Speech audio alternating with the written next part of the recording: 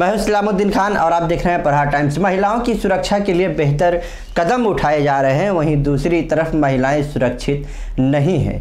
यहाँ तक कि दरिंदे मासूम बच्चियों को भी नहीं छोड़ रहे हैं। जहाँ एक तरफ़ देश के प्रधानमंत्री नरेंद्र मोदी बेटी बचाओ, बेटी पढ़ाओ का नारा दे रहे हैं, वहीं देश की बेटियाँ अपने ही घर में महफूज नहीं है। मामला है मथुरा के कोसी कला थाना अंतर्गत बथेन गेट के समीप गिराज कॉलोनी का, जहाँ एक नवयुवक ने पाँच वर्षीय मासूम बच्ची के साथ बलात्कार की घटना को अंजाम दिया है। ये घटना सामने आने के बाद पूरे इलाके में सन्नाटा फैल गया है। जानकारी के मुताबिक बच्ची के परिजन किसी काम के सिलसिले से बाहर गए हुए थे। घर में बच्ची अकेली थी, जिसका फ़ायदा उठाकर उसी के घर में रहने वाला भोला ने बच्ची को बहला फुसला कर घर के एक कमरे में ले गया और उसके साथ घिनौनी घटना को अंजाम दिया।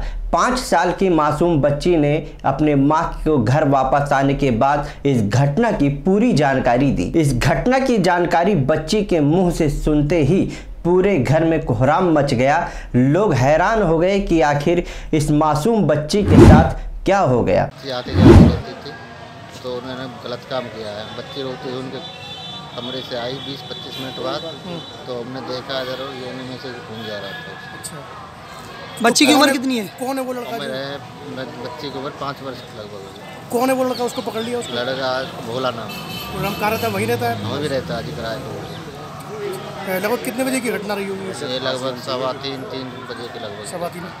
अब क्या कार्रवाई इसमें मतलब हो रही पुलिस क्या कार्रवाई कर रही है पुलिस कार्रवाई कर रही रिपोर्ट दे दी है मेडिकल के लिए बोला है।